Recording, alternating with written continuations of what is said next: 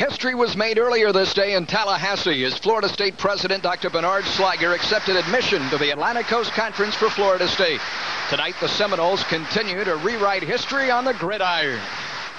Well, Barry, they've been selling a lot of tickets these first two weeks in 1990. Have they not? 61,000 plus here this evening.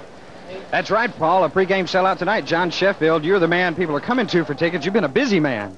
Well, it's been a lot of fun. Uh, great crowd, great victory, great day for Florida State. Uh, I keep thinking I'm going to wake up, and we're not going to be in the ACC, and we haven't played the game yet, and it's just a great day. I, I couldn't be any happier.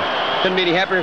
And this is a super crowd. Uh, it beat last week's crowd. It's the sixth largest crowd in history. Last week's was. Now we the night made it seventh, I believe. Now, how about ACC basketball tickets once the Seminoles start that up? Well, I wish we had an arena that hold this many, but, but, we don't, and uh, we're, we're looking forward to that. We just we're just glad we got a year to get ready for it because we got a lot to learn. Now, in terms of football tickets for the FSU games, what is still available for the home games?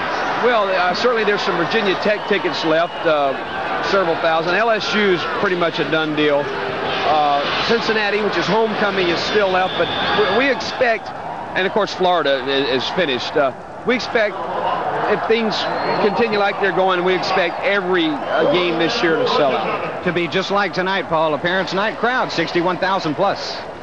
Indeed, look at that. John's right. You know, ACC Hoops gets down here. They'll put 62,000. You could put a court right down there when the Dukies and the Carolinas come rolling in here. When Dean Smith brings his Tar Heels. I've, I've already gone and checked my prior records to make sure my four tickets are still there. Pat Kennedy and company. Well, finally, Coach, just a comment on you now, uh, personally, about the ACC. A historic move for, for Florida State. I think it's a great move for Florida State. I think it's going to be a great arrangement. It's going to be exciting. I really believe it.